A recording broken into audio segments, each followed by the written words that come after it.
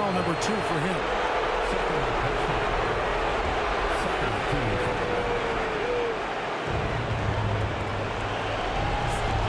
Valanciunas with the ball.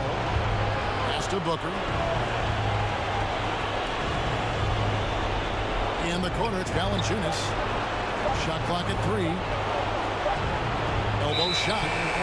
And they force the shot clock violation. Great team. Just lost his head out there. It'll happen if you're pushing a little too hard. This possession gives them a chance to take the lead. Yeah, they don't want to let this one slip away.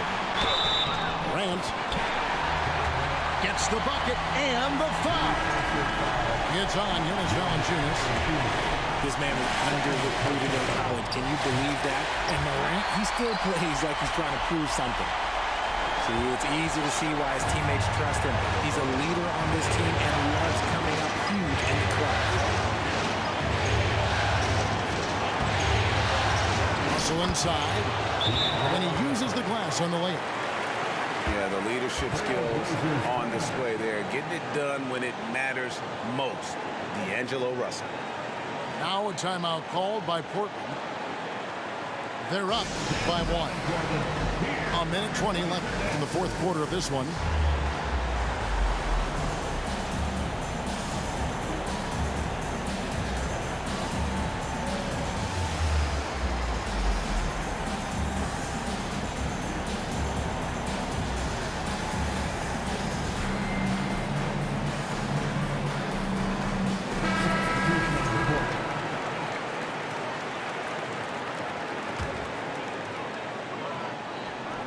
A minute 20 left here in the fourth quarter. Screen by Allen. That's in there. Anthony with the assist. Allen's got the lead up to three now for the Trailblazers.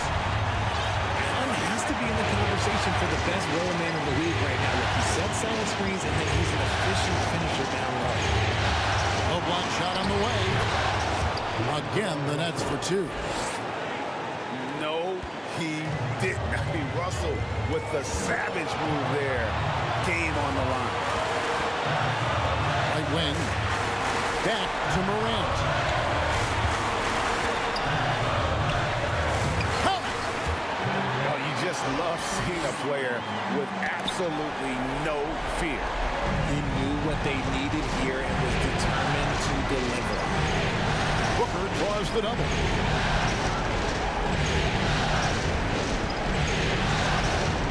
Left to the wing. Kicks it out to Markkanen. Let's keep it alive. Booker outside. Nice ball movement by Brooklyn. Four on the clock. Here's Russell. Good! That shot brings them to within just one. The gentle touch inside. Russell really improving as a finisher. Now a timeout called by Portland. They're leading by one. We've got 13 seconds left in the fourth. Both teams will make substitutions.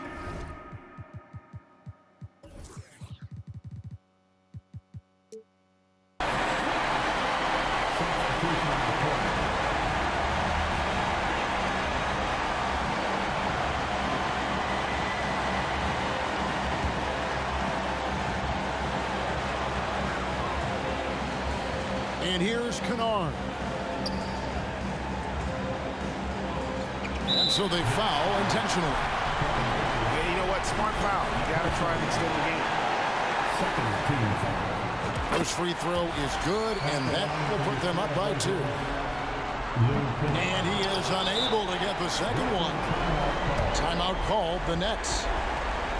They're trailing by two. Just four seconds left in the game.